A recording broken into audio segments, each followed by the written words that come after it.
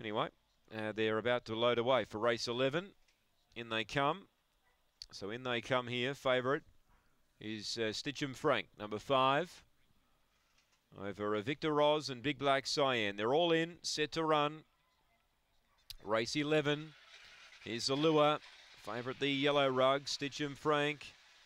Ready, racing now. Stitch Stitchem Frank left well here. Tries to get over Victor Roz, pushing through. Kept it wide. Artistic Genius went to second. Back to third, Stitch Stitchem Frank from Discounter. Then Big Black Cyan. Well back, Soda Ashley and Blackwater Girl off the back though. Victor Roz races away. Artistic Genius ran to a clear second. Running on Discounter, but Victor Roz, too good. Artistic Genius second. Third, Discounter. Fourth, I'm not sure. Stitch Stitchem Frank or Big Black Cyan.